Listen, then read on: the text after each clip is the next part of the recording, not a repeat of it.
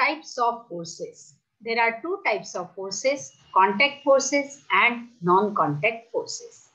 Contact forces which act on a body directly or through a connecting body.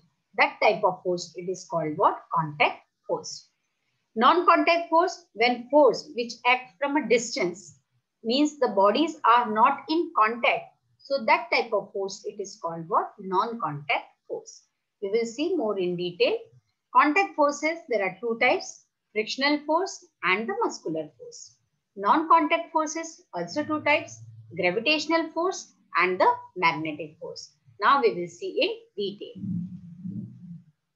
First picture you see for the contact force, muscular force.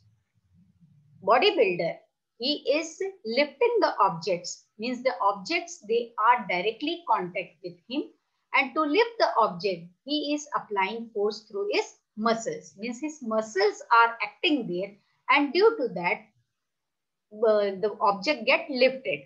Or he the second picture you can see the person is cycling. So that time also to ride the bicycle he applies muscle muscular force. So when the muscles apply the force means through the body part like arms and legs. So that type of force it is called what muscular second you can see the boy is pushing the box when he push the box what happens that one more force it is there. One force he is applying to the box, but he is trying to push the box.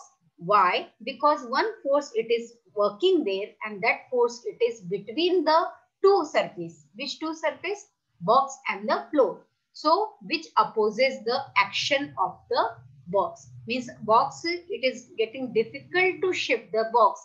Why? Because due to the frictional force which is there between two surface, the surface of floor and the box. So this is also due to the contact. So that's why we call it is contact frictional force contact force type. Then the non-contact force. First is its gravitational force. You can see in the picture, whenever you throw ball upward also in the direction, the ball it comes down. Why? Due to the gravitational force due to the earth's gravity, the ball, it comes towards the ground. Uh, the fruits also, they also fall towards the ground. So this force, because it is not in the contact, earth and the ball, they are very far away from us. Fruit and the earth, they are also far away from each other.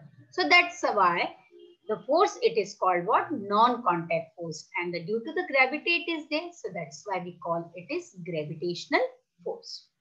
Next non-contact force it is. Whenever you apply magnet towards the iron nails so what happens? The magnet it attracts the iron nail though they are far from each other then also it gets attracted. So this force is also one of the type of the non-contact force